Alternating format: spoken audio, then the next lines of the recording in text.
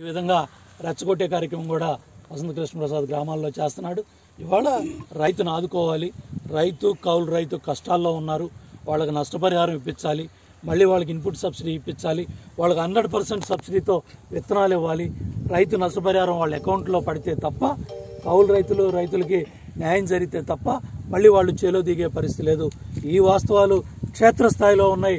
ముఖ్యమంత్రికి ప్రభుత్వానికి అధికారులు తెలియాలి తెలియచేయాలని మేము ఈ కార్యక్రమం తీసుకొని గ్రామాల్లో తెలియజెప్తున్నాం. కాబట్టి వాస్తవాలు అర్థం చేసుకొని ప్రభుత్వం అధికారులు జిల్లా యంత్రాంగం స్పందించాలి. రైతులను ఆదుకోవాలని డిమాండ్ చేస్తున్నాను. ఆదుకోవాలి ఆదుకోవాలి. ఆదుకోవాలి ఆదుకోవాలి. వ్యవసాయ పంపు సెట్లకి. వ్యవసాయ పంపు సెట్లకి. వ్యవసాయ పంపు సెట్లకి. తడిసిన రంగు మారిన మొలకెత్తిన ధాన్యాన్ని తడిసిన రంగు మారిన మొలకెత్తిన ధాన్యాన్ని సిసిఐ పత్తి కొనుగోలు. సిసిఐ పత్తి కొనుగోలు. మొక్కజొన్న కొనుగోలు. మొక్కజొన్న కొనుగోలు. కౌలు రైతుల్ని. రైతుల్ని కౌలు రైతుల్ని. కనపడతా ఉంది. వ్యవసాయ పంపు సెట్కి మీటర్ పెట్టే కార్యక్రమం చేస్తూ ఉన్నారు. మీ పదివేల కోట్లు అప్పు తెచ్చుకోవడానికి నాలుగు వేల కోట్లు కేంద్ర ప్రభుత్వం డబ్బులు ఇస్తూ ఉంటే తెచ్చుకొని ఇవాళ మా వ్యవసాయ పంపు సెట్లకు మీటర్లు పెట్టి రైతు మెడకి ఉరైపోతూ ఉన్నారు స్లాబులు పెడతారు మళ్ళీ కౌలు రైతు అంటారు కౌలు రైతులు కులాలు అంటారు మళ్ళీ కులాలు మతాలు కౌలు రైతులు తీసుకొస్తారు మళ్ళీ స్లాబు వంద యూనిట్లు దాటింది మీ ఫీజులు పిక్కెళ్తున్నాం అంటారు. ఈ కౌలు రైతు ఆ ఫీజే వేసుకోవాలా? పక్కూళ్ళలో ఎకరం పొలమే చేసుకోవాలా? ఈ విధంగా ఈ రైతు పరిస్థితి కౌలు రైతు పరిస్థితి ఆల్రెడీ మైలవరంలో శ్రీకాకుళం జిల్లా మొత్తం మెట్రోలు పెట్టేశారు. మైలవరంలో కూడా చాప కింద నీరులాగా రైతుతో సంతకం పెట్టించుకొని లైన్ మ్యాన్లు వచ్చేసి తగిలిచ్చేస్తా ఉన్నారు. మళ్ళీ ఆ కాంట్రాక్ట్లో కక్కుతి పడతా ఉన్నారు మీటర్ల కాంట్రాక్టులకి. ఈ విధంగా మొత్తం గందరగోళం చేస్తూ ఉన్నారు వ్యవసాయాన్ని. ఇవాళ మీటర్లు పెట్టే కార్యక్రమం కూడా ఉరితాడేసే కార్యక్రమం జరుగుతుంది. నిన్న శాసనసభ్యుడు శాసనసభలో మాట్లాడు ఏడెనిమిది సార్లు నా పేరు జపం చేస్తూ ఉన్నాడు. నా నామస్మరణ చేస్తూ ఉన్నాడు. ఎంత అభద్రతాభావంలో ఉన్నాడు. ఎంత భయంలో ఉన్నాడు. ఎందుకు చెప్పలేకపోయావు? పద్దెనిమిది వేల నోట్లు చిన్న చిన్న నోట్లు పంచి నేను ఇక్కడికి వచ్చానని శాసనసభలో చెప్పుంటే అది కూడా శాసనసభ రికార్డ్స్లో ఉండేది. మరి కొండపల్లి అడవిలో మా బావమధ్య మా అనుచరులు కలిపి వేల ట్రిప్పులు మరి ఇవాళ గ్రావులంతా కూడా ఎత్తుకెళ్ళామని ఎందుకు మాట్లాడలేకపోయావు? దాని గురించి ఎందుకు మాట్లాడలేకపోయావు? పత్రికల గురించి పత్రికాధిపతుల గురించి ఎందుకు మాట్లాడుతున్నావు? ఇవాళ జగన్మోహన్ రెడ్డి గారు ఒక పత్రిక నడుపుతున్నాడు జగన్మోహన్ రెడ్డి గారి కుటుంబం పత్రిక నడుపుతూ ఉంది. ఎప్పుడు ఏ రోజు కూడా మేము ఆ పత్రికాధిపతుల్లో లేకపోతే మరి పత్రికలో పనిచేసే వాళ్ళని ఎప్పుడు కూడా అసభ్యంగా మాట్లాడాల. ఇవాళ ఆంధ్ర వేసి పత్రిక ఏం మాటలు ఇవి? ఒక దినపత్రికను పెట్టుకొని ఆంధ్రజ్యోతి పేపర్ను పట్టుకొని మీరు మాట్లాడే భాష ఏంటి?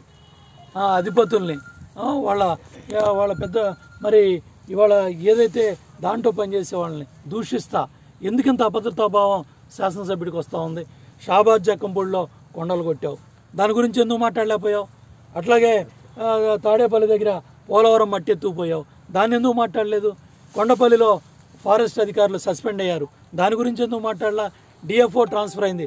దాని గురించి ఎందుకు మాట్లాడలా? ఏడైంది ప్రొక్లైమ్స్ జేసీబీలు పది లారీలు సీజ్ అని దాని గురించి ఎందుకు మాట్లాడలా? అదేవిధంగా నా మా ఇబ్రహీంపట్నం తహసీల్దార్ రెండు రోజులు ఏసీబీ దాడి చేసింది. ఇక్కడ నుంచి వెళ్ళిపోయే పరిస్థితి వచ్చింది. మీ అవినీతి వల్ల మీ తప్పుడు కార్యక్రమాల వల్ల మరి ఆ కార్యక్రమాలు జరిగిన ఎందుకు మాట్లాడాలి శాసనసభలో?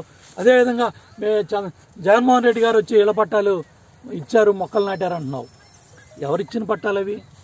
చంద్రబాబు నాయుడు గారి పుణ్యమా అంట?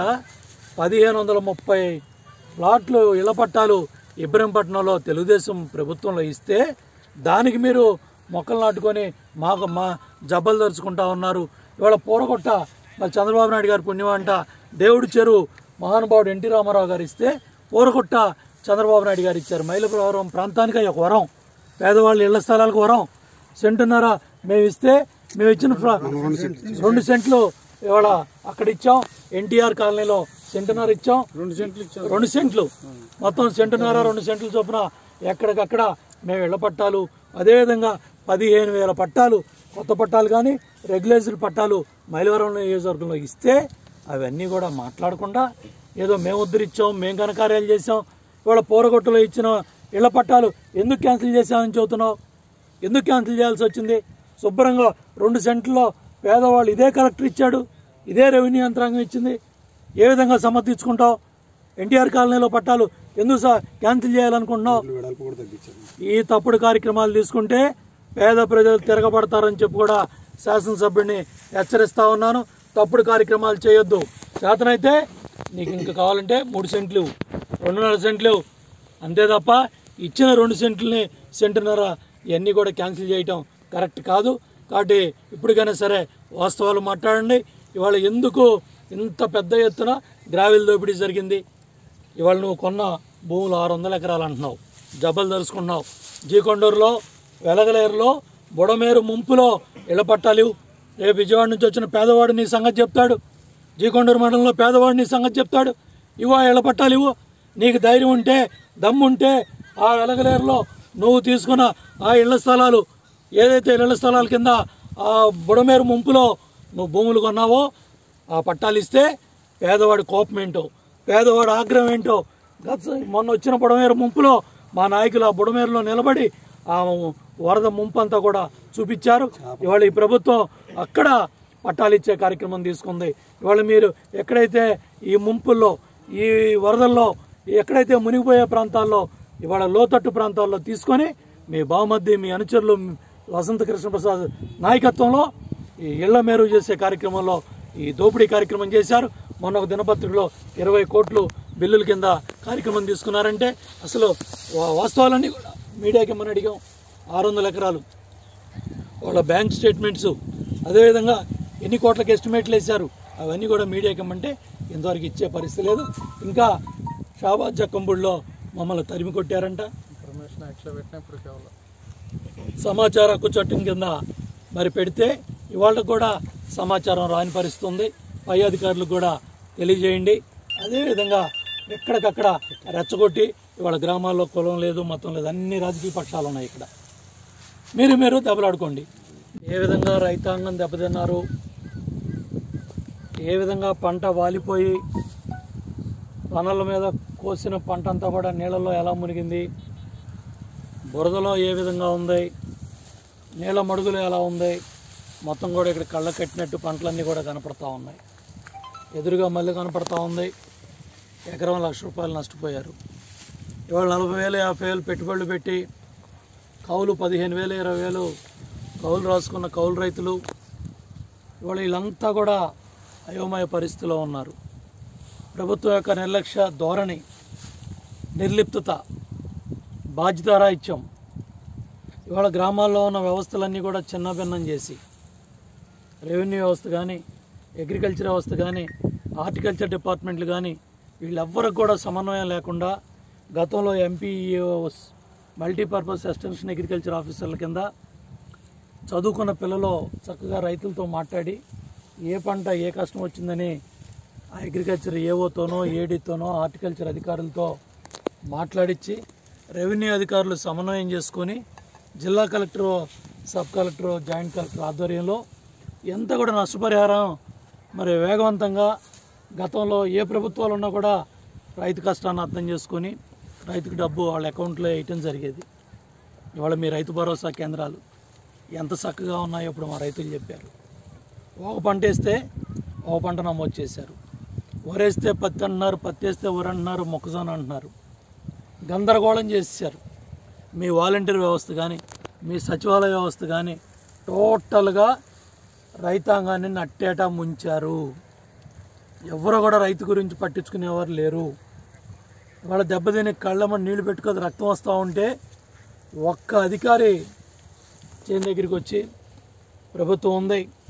తడిసిన రంగు మారిన మొలకెత్తిన మేము ధాన్యం కొంటామనే భరోసా కానీ మాట కానీ ఒక్కళ్ళు ఇచ్చిన పాపన పోలేదు పత్తి తీసుకెళ్తే మార్కెట్ యార్డ్లో పడేసి పక్కన పడేశారు. కొనుగోలు లేదు మొక్కజొన్న ఎన్నడూ లేని విధంగా జల్లిడి పడుతున్నారు. నెల రోజులు ఏం దిక్కు మొక్కు లేదు. ఇవాళ ఈ పంట కోయాలంటే పది పన్నెండు వేలు అవుతుంది. చేతికి పది బస్తాలు రావట్లేదు. వాళ్ళు ఏ విధంగా రైతు అప్పుల పాలైన రైతు బయటపడాలి? మూడు రూపాయలు డీలర్ తెచ్చారు. నాలుగు రూపాయలు డీలర్ తెచ్చారు. వెళ్ళాం పుస్తులు తాకట్టు పెట్టారు.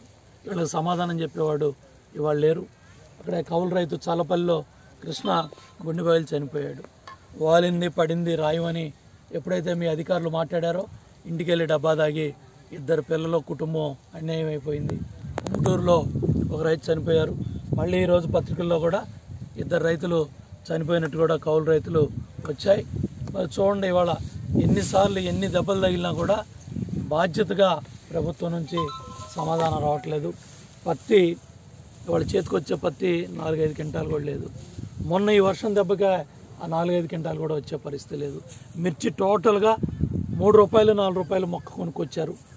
ఇవాళ నాలుగు సార్లు వేసినా కూడా ఒక్క కాయ మరొక్క కింట కూడా చేతికొచ్చే పరిస్థితి మిర్చి లేదు పత్తి దెబ్బతింది వరి దెబ్బతింది. తొలకరి పంటలో పెసర కానీ లేదా మినుము కానీ అవి కూడా చేతికి రాలా.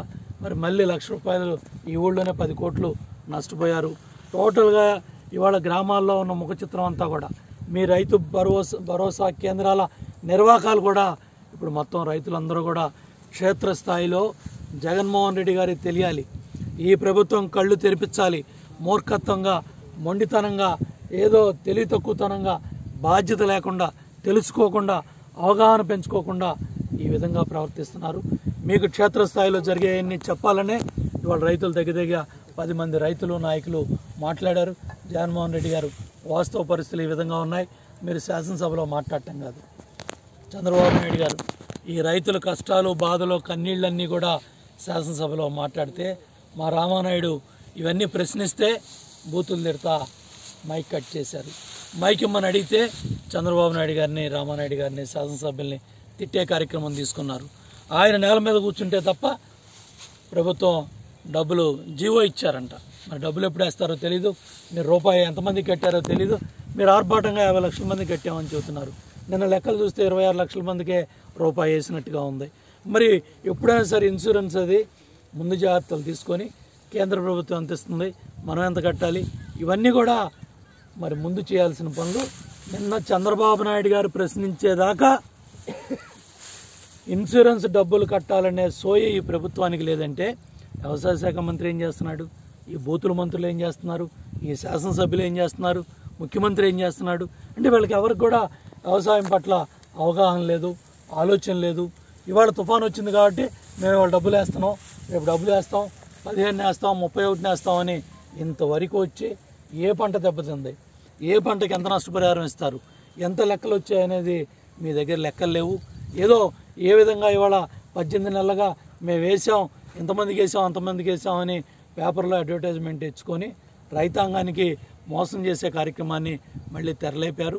కాబట్టి మాకు వాస్తవ పరిస్థితులు క్షేత్రస్థాయిలో ఇవాళ సర్వే నెంబర్ ప్రకారం ఆర్ఎస్ నెంబర్ ప్రకారం ఎక్కడ ఏ పంట దెబ్బతిందో కళ్ళకు కట్టినట్టు కనపడతా ఉంది.